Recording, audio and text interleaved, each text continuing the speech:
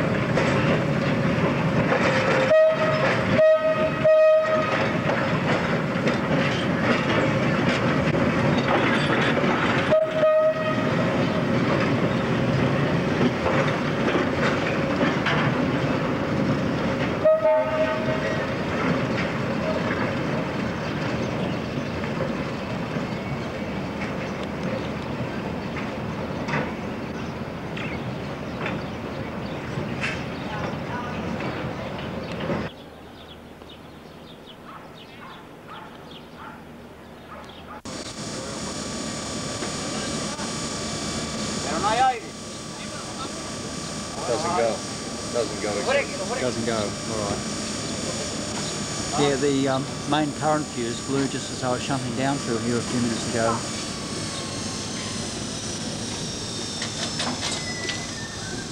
Panto down. Take a look in there.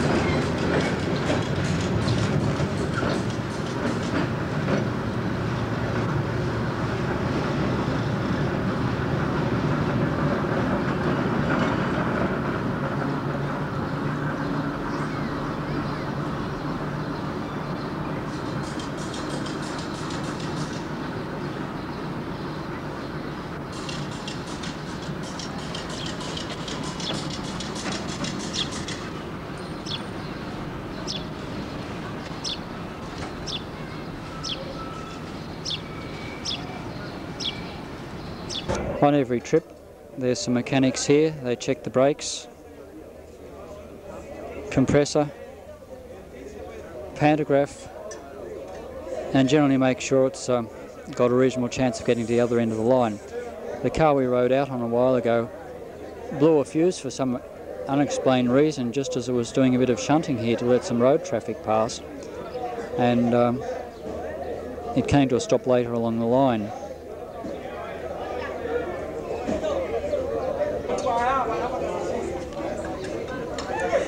That fella's presumably adjusting the brakes. These are what are known as the Brill cars.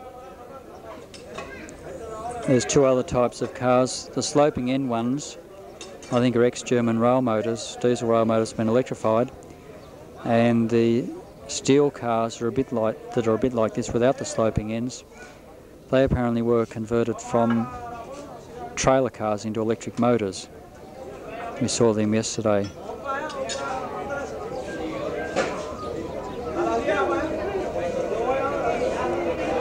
The passengers seem to know the procedures because no one's got on the car yet. Uh, there was a fellow that took the driver's seat up to the other end, which, in case you hadn't noticed earlier, is basically a wooden kitchen chair. Anyway, as I said, this other fellow changed ends for the driver. Pantographs, as I said, were inspected. Just missed that fellow then.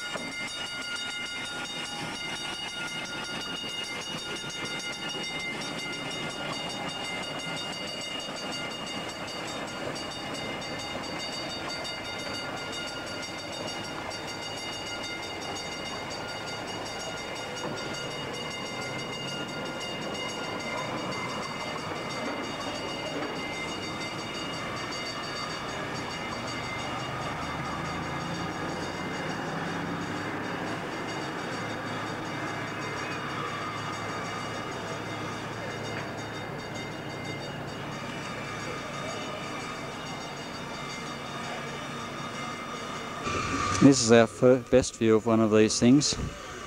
Um, looking at the overhead wire, it's sort of got a scraggy look about it, and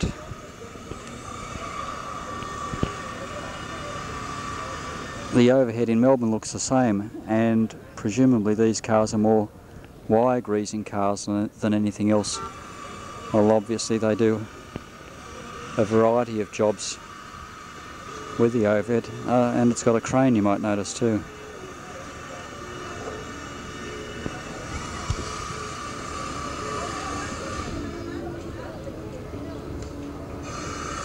Got a glimpse in the cab of one the other day, and they've got a early type K controller in it.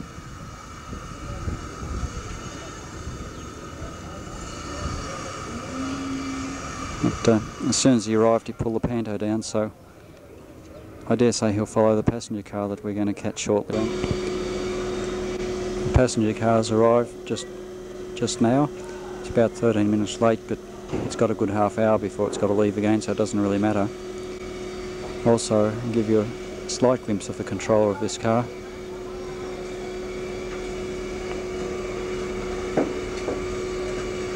Maybe I'll get a better view later. They all seem to be having dinner inside at the moment. While we're waiting for departure, there's a nice view of the driver's seat. Actually, the suburban, the old single deckers in Sydney had a, had seats not much better than that. And uh, the driver just puts a chain across the entrance there so he doesn't fall out, and um, that's how he rides. Nicely air conditioned anyway.